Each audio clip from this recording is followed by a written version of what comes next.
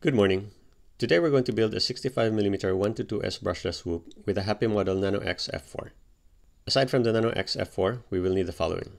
Turbo Wing Cyclops 2 camera, Happymodel 0603 16,000 kV motors, NewBeeDrone ASI micro props, NewBeeDrone camera mount, NewBeeDrone cockroach frame for brushless.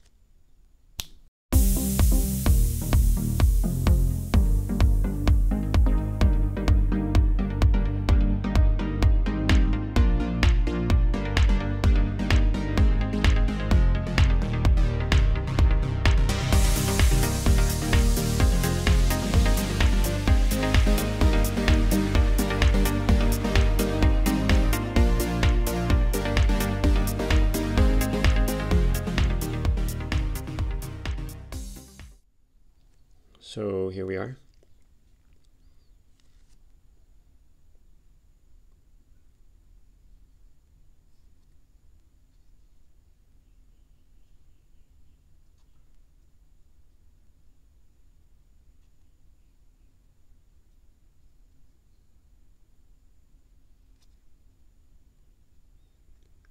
So I'm using the NewBeeDrone camera mount instead of the Goober canopy because I was trying to save weight so I was able to save around 0.1, 0.2 grams for this one. And I have the brushless cockroach and NewBeeDrone ASI props. For the motors I used Happymodel 0603 16000 kV so it should be able to do 1 to 2S. For the camera and VTX, I use the Turbo Wing Cyclops 2, so it fit perfectly. For the FC, of course, I use the Nano X F4.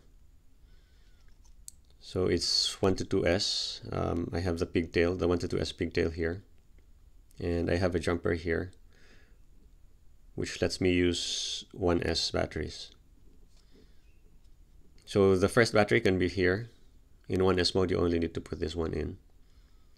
And for 2S mode, I have a rubber band here, so you can clip on a battery here.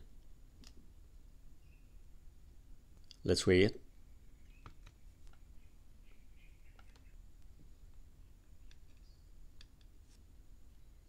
So it's 22.4 grams.